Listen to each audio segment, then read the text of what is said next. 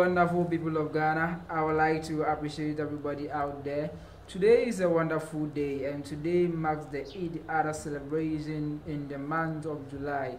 Yes, I would like to appreciate each and everybody out there for your support and up to now. Most especially, my thanks will go to um, the All People's Congress, with the founder and the leader of the All People's Congress, uh, Dr. Hassan Ayariga.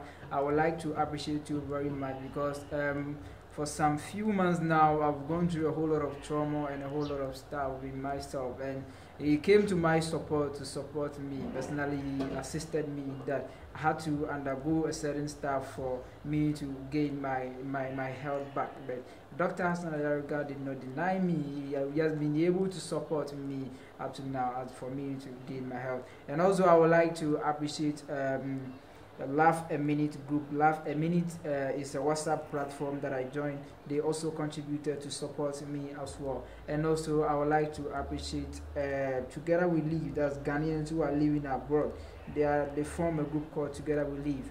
He also contributed to support to support me. And also uh, Abdul Samad, I cannot forget about you too. Abdul Samad, you also contributed to support me. There are a lot of people which I cannot mention everybody's name here, but all of you, everybody out there who contributed to support to support me to gain my strength up to now or to become physically healthy as of now i will appreciate each and everybody out there it is only thanks that i give it to you for you guys contributing and for each personality and each group contributing to support me up to now. As of now, I have recovered, but I have not recovered fully. But I have to come out and appreciate a lot of you and appreciate most of you for what you have done for me. I really appreciate it. I cherish whatever that you contribute. I cherish any amount that you contributed to support me.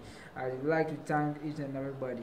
For some few, also some few months now, I've not been able to upload any content on this platform that is YouTube because based on certain circumstances, my um, YouTube account was uh, blocked there. So they, they gave me a strike about I think uh, two weeks or three weeks strike, and from then I became ill. I was not feeling well. That is why I have not been active to update you. So all of you, those of you who have subscribed, please kindly tell those who have not subscribed to subscribe to our TV so that